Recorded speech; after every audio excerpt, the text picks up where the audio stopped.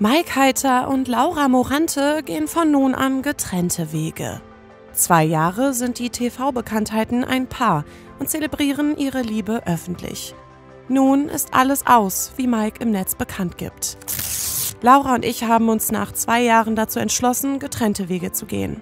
Es sind Sachen passiert, die ich nicht akzeptieren kann. Wir sind nicht im Streit auseinandergegangen, aber es ist für uns die beste Entscheidung.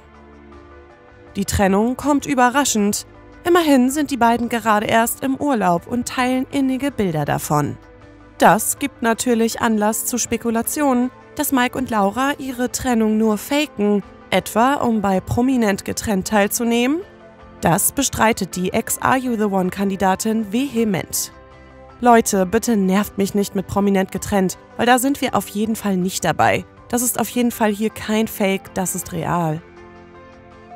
Sie hätten zwar einen schönen Urlaub, doch der Alltag hole einen eben schnell ein. Wegen der unterschiedlichen Vorstellungen gehe ihr Weg einfach nicht weiter, böses Blut fließe aber nicht. Ich wünsche Mike nur das Beste und würde auch niemals schlecht über ihn reden. Deswegen erwartet auch bitte keinen Rosenkrieg, da wir erwachsene Menschen sind. Und das hier ist keine Trash-Show. Das haben aber auch schon andere vor ihnen behauptet.